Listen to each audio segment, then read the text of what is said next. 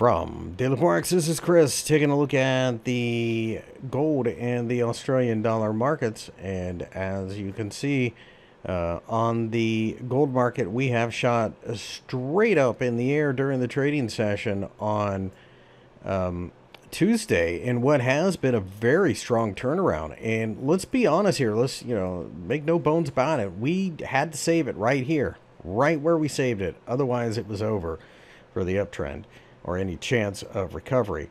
Now, that doesn't necessarily mean that we're in the clear and we're never going to fall again, but we are closing to the top of the candlestick, and that is important.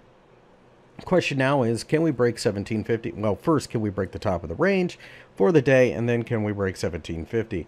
This is all about the 10 year yield. If the yield continues to fall like it did during the trading session on um, Tuesday, then that should drive gold higher. Now, if it spikes again and we break down below the lows of the last couple of days, I think that drives gold to 1550, maybe 1500.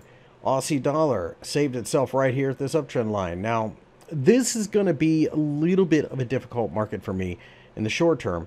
Uh, mainly because of the, the February candlestick is a shooting star, and I just don't like that. Now, one thing that you have to keep in mind that between 80 and 81 is massive resistance.